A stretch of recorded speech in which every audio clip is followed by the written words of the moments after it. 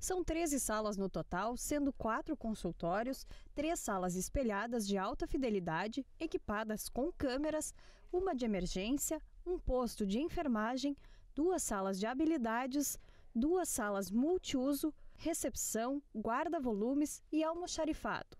A reitora da UPF, Bernadette Dalmolin, explica como funcionam as aulas práticas. Nós podemos uh, submeter o aluno a todos os procedimentos, ele pode rever o procedimento, ele vai ter o professor que vai acompanhar, que vai monitorar, que vai avaliar, ele tem condições é, de aprender com os próprios erros, né? fazer toda a revisão antes de chegar à vida real com o paciente real. Então, aqui nós estamos num centro obstétrico, né? Nós temos aqui a nossa gestante, em trabalho de parto, temos as condições de simular todas uh, as situações que acontecem, as situações possíveis dentro de um trabalho de parto.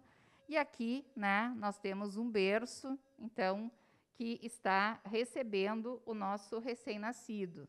As atividades são voltadas aos acadêmicos das áreas de medicina, enfermagem, fonoaudiologia, fisioterapia, farmácia, nutrição, estética e cosmética, ciências biológicas, educação física, psicologia, odontologia e serviço social. Mas o espaço também comporta a atualização e aperfeiçoamento de profissionais, atendendo às necessidades de prefeituras, coordenadorias de saúde, instituições de saúde e educação. Os cenários são programados conforme as necessidades das aulas, utilizando a simulação realística e softwares de realidade virtual. Nós estamos trabalhando para a implementação desse centro há dois anos. Nós já tínhamos um, uma estrutura básica e nós fomos incrementando com uma estrutura e com uh, manequins que simulam uma situação real hospitalar. Então, aqui nós temos um paciente que está com um quadro de pneumonia. Os estudantes terão a condição de fazer todos os procedimentos adequados.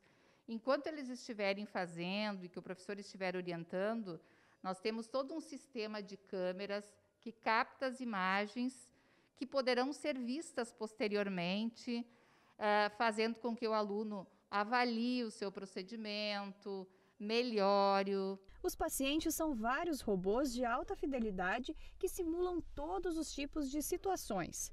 Os manequins podem representar patologias e agravos de saúde.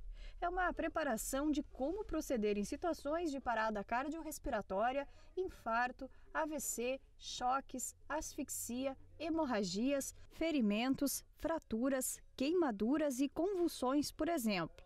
Isso significa uma experiência prática maior para os acadêmicos, conforme conta o coordenador do centro, Vinícius Buais Dalmaso. É um método de aprendizado ativo, né, que a gente chama. Então, os alunos eles deixam de ter aquele recebimento do, do conhecimento de forma passiva e eles ser, passam a ser os protagonistas, né?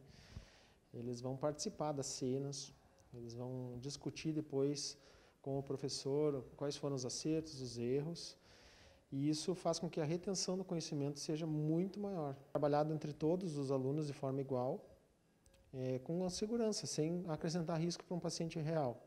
Acho que esse é o grande benefício aí do centro. O acadêmico de enfermagem Vanderlei Machado dos Santos Júnior está ansioso para a sua primeira aula no espaço. Os manequins, tanto é, a respiração, a ausculta, é exatamente como na prática, até os pontos ali na, ausculta cardíaca e pulmonar uh, se assemelham uh, com a prática. Então, acho que com os acadêmicos de enfermagem, de medicina e de todos os cursos da saúde vão ir muito mais bem preparados para a prática e para atender os seus pacientes.